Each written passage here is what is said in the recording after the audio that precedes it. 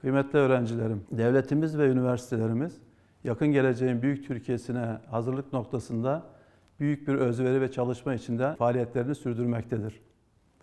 Üniversitelerde teorik eğitimlerin yanında uygulamalı eğitimlerini de atölye ve laboratuvarlarda sürdürmektesiniz.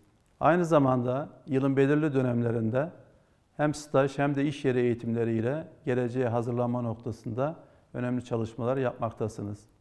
Bu kapsamda Cumhurbaşkanlığı İnsan Kaynakları Ofisi öncülüğünde gerçekleştirilen bölgesel kariyer fuarları da bu yıl e, devam edecektir.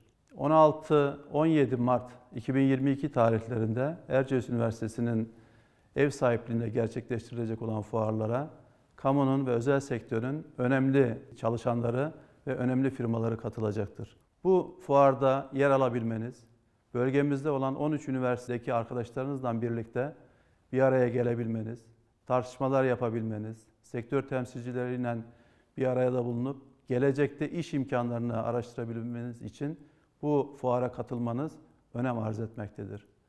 Fuara katılabilmenin yolu hem Cumhurbaşkanlığı İnsan Kaynakları Ofisi'nin sayfasından hem Erciyes Üniversitesi'nin açmış olduğu İKAF sayfasından veya üniversitemizin kariyer planlama, uygulama ve araştırma merkezi aracılığıyla buraya kayıt yaptırabilirsiniz.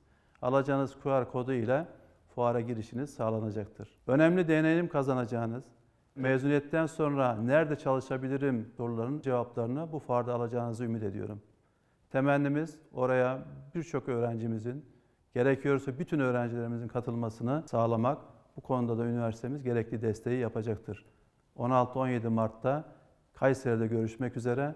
Size iyi günler diliyorum.